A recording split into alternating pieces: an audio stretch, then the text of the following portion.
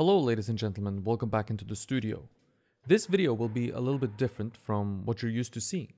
Today I'll be sharing with you an interview I did with one of my patrons, Ryan Kane. Ryan is an artist studying in university and this interview was part of a project they had at school where they were asked to interview a professional artist, which I suppose I am or am supposed to be, at least. You can find Ryan's Instagram in the description below. Give him a follow and thank him for doing this interview. Let me speak briefly on the footage you'll be seeing in the background while the interview runs. You're watching me sculpt on my sculpture Kronos at 10 times speed. Previously, I've showed the progress on this sculpture at regular speeds with a Q&A, but progress is very slow on such a large piece and I've already worked over 30 sessions and there's likely more than 100 or more sessions to go and I think 100 plus Q&As are a little excessive. This is footage from around 8 sessions, session 8 to 16. If you are interested in seeing what came before we got to this point, you can find session 1 to 7 on my YouTube channel. Just search for Q&A. So what to do with the rest of the footage I have of this process on this sculpture?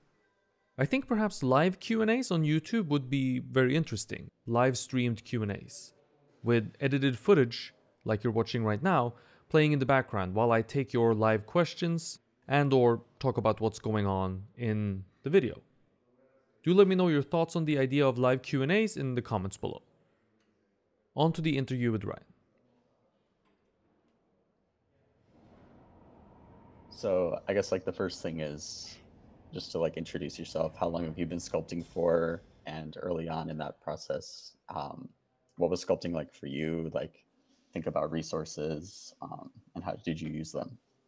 Yes. So I guess I can just fire off with what is it called? Name and and all that sort of stuff. So my name is uh, Eirik. I've been I'm from Norway, Oslo, Norway, and I've been sculpting for since I've been sculpting since around 2011. At the end of 2010, uh, I was in college, in art college, and we had a project where it was essentially do something with the human body that was kind of the theme.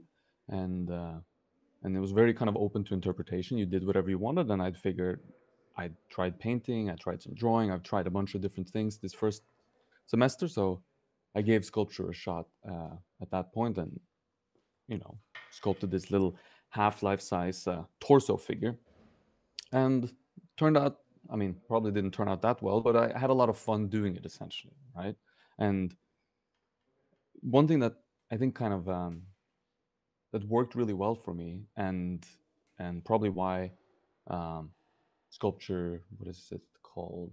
Like it, uh, like it spoke to me in a way, right? Because with drawing and painting, there's a lot of kind of there's a lot of magic needing to happen, a lot of illusion needing to happen, and those things can be a little bit untransparent if you are to the uninitiated. And I wasn't, we weren't really being taught very much uh, as far as uh, technique goes. So it was kind of like just trial and error. But with sculpture, you get this kind of object in front of you pretty fast, and uh, you know, by the virtue of it being in real space or existing in real space, um, you have already have form turning. You already have like dimension to it. It doesn't appear flat usually. So you have all these things already happening for you, and that's always. Uh, I think I think that's why it seemed probably more successful to me than what it was and that kind of gave me the impetus to chase after it a little bit more i think. Just the fact that you know this first sculpture seemed to turn out as something. And uh, you know that kind of sparked a little bit of fire and then you go after it and uh, then you're kind of off to the races. Yeah i think that's wonderful. I i kind of relate in a way at least in the past past couple of years where i was mainly focusing a lot on painting and then the like reintroduction of clay and like working in three dimensions was something that like it just felt more satisfying in a way because you could yeah mm. like what you're talking about um, it presents itself in a different way that isn't very like, illusionary yeah exactly exactly so i'm not entirely sure if it was necessarily like ultimately i was having more success sculpting than i was having painting yeah. and drawing but it kind of i don't know there was like a different feeling there that i got from it that mm-hmm. uh, probably felt more successful than what it ultimately right. was and that's kind of why i mean i think that's kind of what you need right like if mm-hmm. if you get a few wins under your belt, then you're kind of good to go. You got a little bit of confidence. Now you're going after something, um, and I think that's how, like that. And every other project that that sculpture kind of worked within that I could do at that school, I did. Um, but let me go back just like a little bit. So, how I even kind of got into the arts at all. I I was always like drawing, drawing and painting a lot when I was a kid. Uh, maybe up until I was, let's say, 10, 11.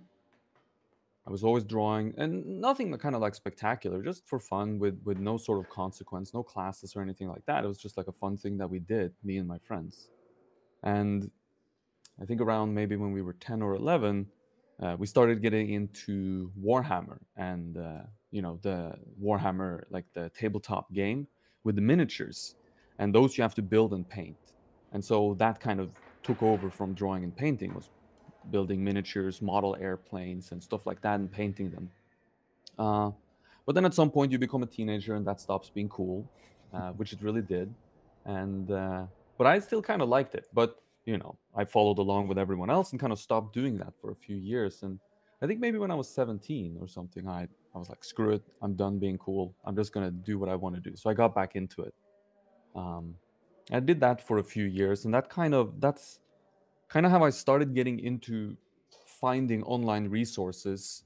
Um, at that time, you know, YouTube certainly was a thing, but it, there was mostly just like, if I remember correctly, I never watched like a YouTube tutorial on anything back then. It was mostly just like cat videos or people Yeah, getting hurt or stuff like that, um, which was a lot of fun, but you know, not very educational.